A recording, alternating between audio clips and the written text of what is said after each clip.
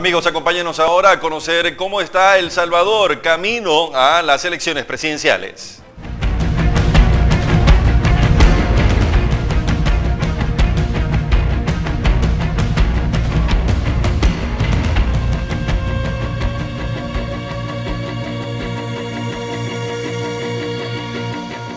Bueno, en El Salvador, el Tribunal Supremo Electoral difundió este jueves un video en redes sociales para que los electores salvadoreños se preparen y conozcan las formas válidas para votar este 3 de febrero, y así escoger al próximo presidente de esa nación centroamericana.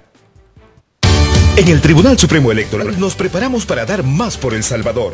Prepárate tú también y conoce las formas de votar en la elección presidencial de este 3 de febrero de 2019. Marca la bandera de un partido político o marca una o más banderas de la coalición. No te quedes sin votar. Dar más por El Salvador siempre te llenará de orgullo. Para votar debes asistir, solo así podrás elegir.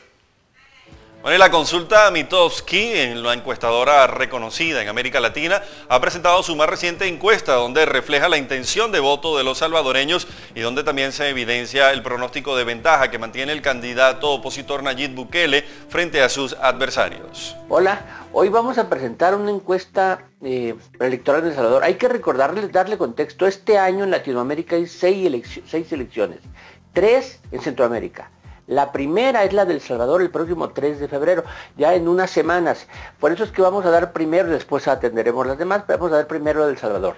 Vamos a dar un poco de contexto. Estamos a pocos días de que se cumpla aquel famoso pacto de Chapultepec que generó una nueva ola democrática en El Salvador. Desde entonces ha habido cinco elecciones, esta va a ser las sexta elecciones. Todas las elecciones anteriores prácticamente ha sido un bipartidismo entre la derecha, representada por Arena, y la izquierda, representada por el Frente. ¿Qué es lo nuevo que vamos a encontrar en esta elección? Que aparece una nueva opción que rompe ese bipartidismo y así lo vamos a ver. Voy a empezar presentando la aprobación del presidente Sánchez Serén. Tiene una mala aprobación, 25-26%, uno de cada cuatro salvadoreños aprueba en cambio 71%, 7 de cada 10 desaprueba. Esto en sí ya es una señal de un cambio. Por eso es que vamos a ver cómo las preferencias electorales, el partido actualmente en el gobierno aparenta no estar en la pelea. La pelea se está dando entre una nueva opción representada por Nayib Bukele, que va con la bandera de Ghana, y la opción de Arena, que es la opción con Carlos Calleja que la versión de la derecha. Entre ellos dos, las preferencias hoy muestran una gran ventaja de la nueva opción, del Nayib Bukele, que tiene 57% de las preferencias, 26 puntos de ventaja sobre Carlos Calleja de Arena, 26%. Si esto se da en forma aproximada, significa que la primera vuelta será la definitiva porque si no se gana con 50% tendrían que irse a la segunda. Pero con esta ventaja prácticamente aseguraría ganar en primera vuelta Nayib Bukele. ¿Qué pasaría? Con el padrón electoral que hoy hay, este porcentaje prácticamente asegura que Nayib Bukele sería el presidente más votado en la historia de El Salvador. Todo está por confirmarse. El 3 de febrero es donde vamos a saber.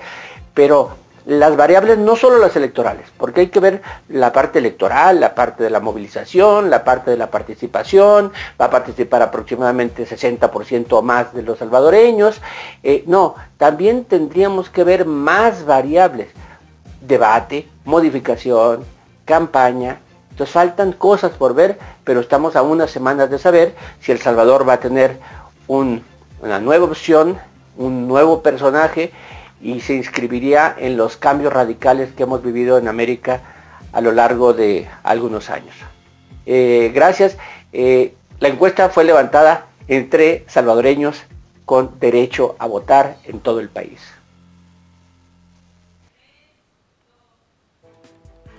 Bueno, el candidato presidencial del partido Arena se comprometió a, no abandonar las calles y no cerrar su gobierno al pueblo ni a los medios de comunicación. Anunció que se compromete a no ser un presidente ausente, sino más bien cercano a su gente para escuchar a todos y, bueno, también difundió en sus redes sociales este video con contacto con la gente en las calles durante la campaña. Vamos a verlo.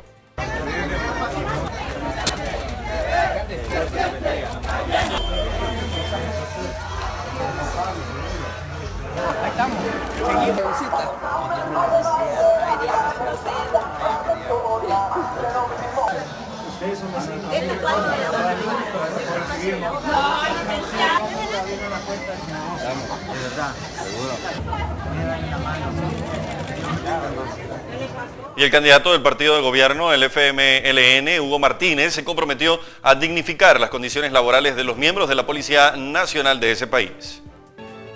Nuestros policías dedican su vida para proteger la seguridad y tranquilidad del pueblo salvadoreño. Por ello mi compromiso es la dignificación de su profesión. En mi gobierno impulsaremos un aumento salarial incorporando el bono de la contribución especial al presupuesto general. Además, impulsaremos un programa de becas que brinde oportunidades a los hijos de estos hombres y mujeres valientes que cuidan de nosotros. Crearemos un fondo para la justa indemnización de los policías retirados. Y bajo el enfoque del despliegue territorial del Estado, mejoraremos la rotación del personal policial. Ampliaremos el número de clínicas de atención psicológica y fortaleceremos los programas de formación en derechos humanos de la Corporación Policial. Hoy también en El Salvador el candidato presidencial por el partido Gana Nayib Bukele anunció la fecha de presentación oficial de su plan de gobierno. En su cuenta oficial en Twitter difundió que la presentación de sus propuestas para gobernar El Salvador las hará pública este domingo 13 de enero en transmisión de radio y televisión y en redes sociales. Bukele ya ha adelantado sus propuestas y asegura que presentará un estructurado plan de desarrollo para El Salvador con el cual pretende realizar una enorme transformación social del país, tal como lo ha hecho en sus anteriores administraciones.